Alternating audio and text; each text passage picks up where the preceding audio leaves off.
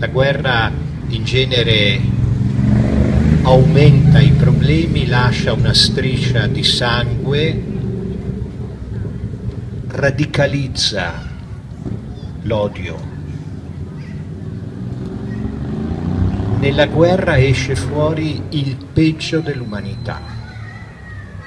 Ecco allora il ritrovarsi secondo la propria fede in colui che è il bene ci aiuta a mettere la premessa del rispetto per gli altri.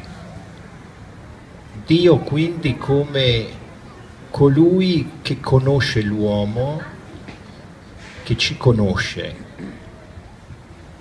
e che ci obbliga ad andare alla radice della nostra umanità,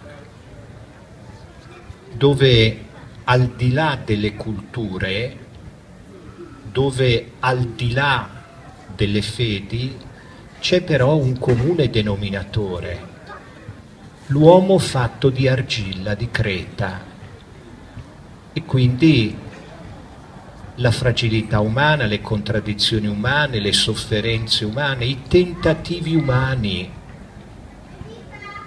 Ecco, Dio diventa il garante dell'umanità. Ognuno di noi ha le sue convinzioni religiose e io ho apprezzato molto che la tenda avesse momenti differenti, è una forma di rispetto e di verità. Nello stesso tempo il Dio che sta sopra l'umanità diventa il garante dell'umanità stessa.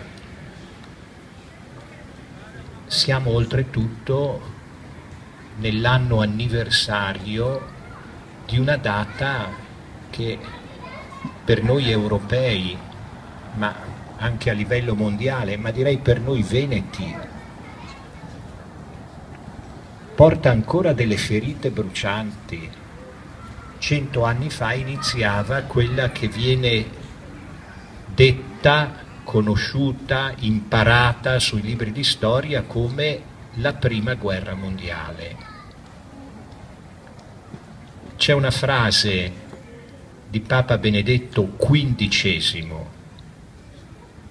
Giacomo della Chiesa, che è stato Papa dal 14 al 22, 1914-1921, 22, che chiama la guerra l'inutile strage.